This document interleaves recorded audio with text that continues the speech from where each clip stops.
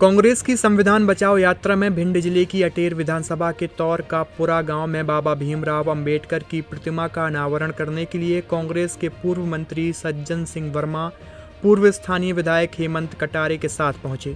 इस दौरान उन्होंने मंच से बोलते हुए खुद को प्रधानमंत्री नरेंद्र मोदी और शिवराज सिंह का बाप तक बोल डाला। उन्होंने भाजपा पर हमला बोलते हुए कहा कि भारतीय संविधान दलित व्यक्ति के हाथों तो लिखा गया है, इसलिए बीजेपी इसको मिटाना चाहती है।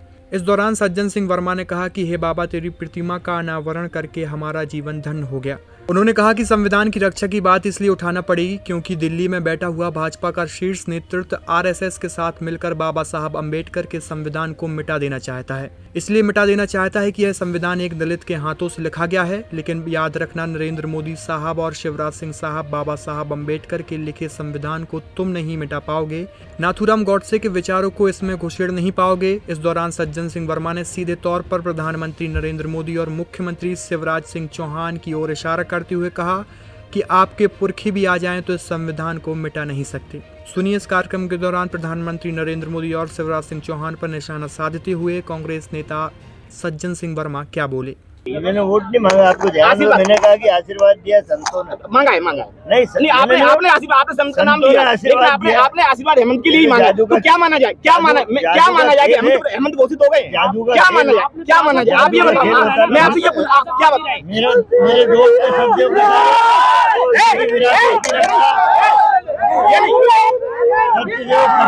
विरासत की रक्षा और विरासत को आगे बढ़ाने की बात की। बिल्कुल एक सच्चा मित्र हूँ।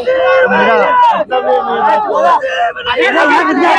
अभी अभी अभी मंच से अभी मंच से फूल सिंह बरियानी जी ने कहा था कि अगर ये सही संविधान पाँच साल पहले अगर सही संविधान पाँच साल के लिए लागू हो जाए तो देश की स्थिति बदल जाए। कांग्रेस लंबे समय से सत्ता में रही है चाहे केंद्र की सत्ता हो चाहे मध्य प्रदेश की सत्ता हो तो कांग्रेस क्यों नहीं कर पाई संविधान को लागू?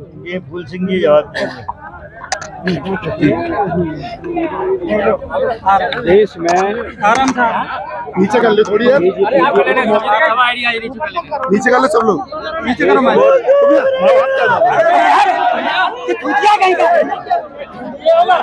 देश में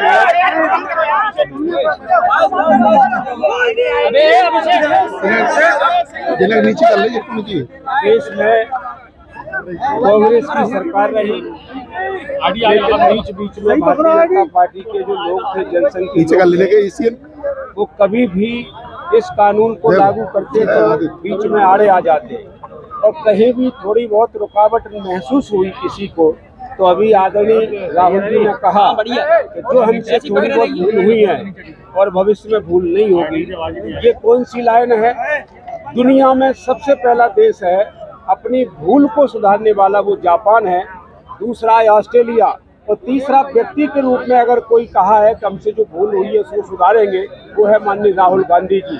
और राहुल गांधी जी ने जो स्वीकार किया है तो मुझे लगता है कि ये संविधान पाँच साल में लागू होगा और करोड़ों लोगों की दुर्दशा है वो निश्चित रूप से खुशहाली में बदलेगी। आपने कहा है भाजपा को वोट देना है। मतलब बसपा को वोट देना माने भाजपा को वोट देना है। इससे अच्छा भाजपा को देना है।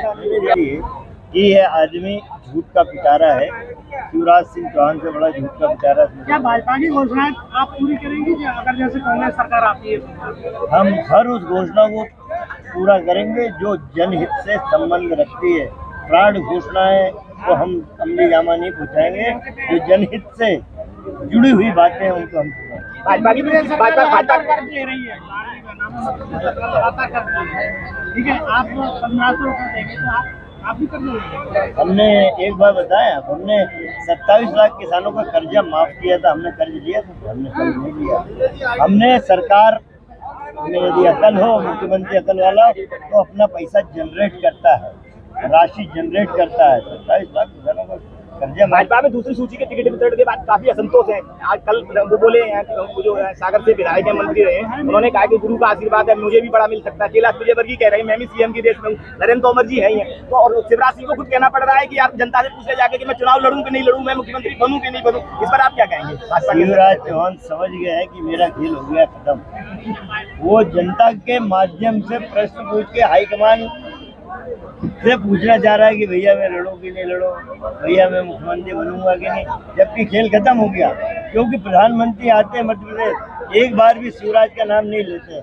इससे परिलक्षित हो गया, घबराया हुआ है शिवराज चौहान। उसके चेहरे का नूर उतर गया दम नहीं भैया, एक एक और सवाल है। कल सुप्रीम कोर्ट ने ए, मध्य प्रदेश सरकार को राजस्थान सरकार को बीज घोषणाओं पर नोटिस दिए और उनसे जवाब पूछा। ये भी लगातार घोषणाएँ कर रहे हैं चुनाव में और कांग्रेस भी ऐसी घोषणाएँ कर रही है लगातार फ्री बांटने वाली। तो इससे कब मुक्ति मिलेगी? ये ये कहाँ तक लोकतंत्र के लिए ठीक है? एक तरफ़ तो प्रधानमंत्री साहब बड़े ईमानदार बनते हैं मोदी साहब। ना खाऊँगा ना खाने दूँगा। मुफ़्त की रेवड़ियाँ नहीं बांटी जाएँगी बट- बंटवाए जा रहे हैं। चुनाव आ रहे हैं फिर अभी उनका बयान आ जाएगा रेवड़ी पूरी खत्म हो जाएगी। मुफ़्त की रेवड़ी नहीं बांटने दूँगा क्या भजन ऐसा है? जैसा तेरा गाना वैसा मेरा बजाना आपकी आप ओपीएस कहते आप ओपीएस तो सबसे बड़े चोर बैठे हैं ना उसमें चोर की पार्टी